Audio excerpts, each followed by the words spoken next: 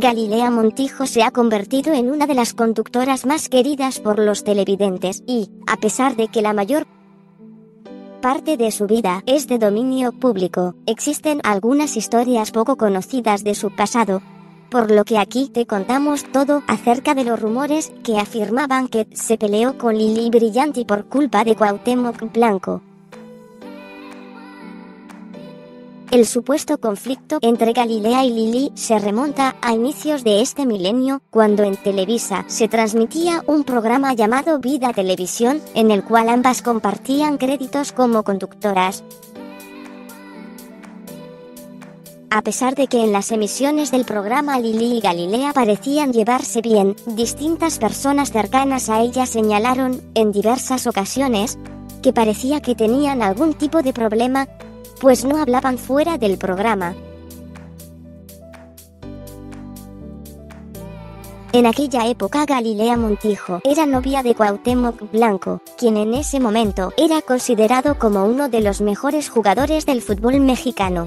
El romance entre Galilea y Cuauhtémoc era uno de los más conocidos del medio del espectáculo, iban juntos a todas partes y se veían muy felices juntos.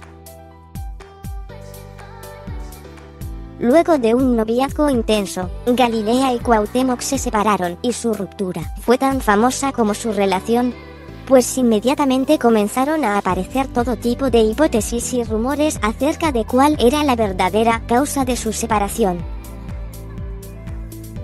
Uno de los chismes que más fuerza ganó en aquel momento decía que Lili Brillanti estaba interesada románticamente en Cuauhtémoc, por lo que habría intervenido para que el delantero terminara con Galilea Montijo.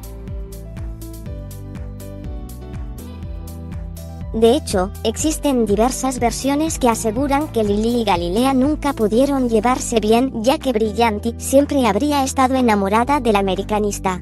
Asimismo, en los pasillos de Televisa circulaba el rumor de que, en más de una ocasión, Lili y Galilea discutieron por culpa de Cuauhtémoc Blanco,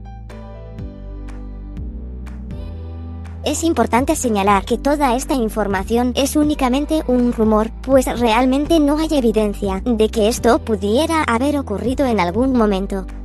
¿Qué opinas?